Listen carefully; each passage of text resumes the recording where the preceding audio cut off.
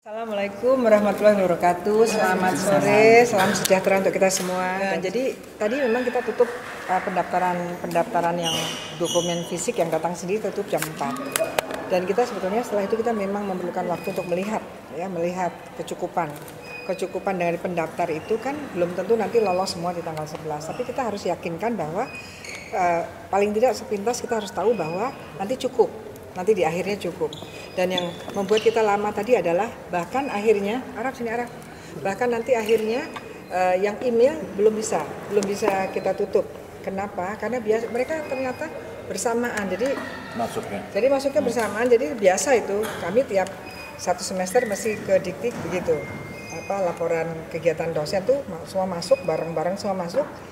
Jadi tidak bisa masuk akhirnya sampai saat ini sambil menunggu email yang jam 12 jam 00 nanti malam sudah 348 348 dan kami kami putuskan uh, tidak diperpanjang.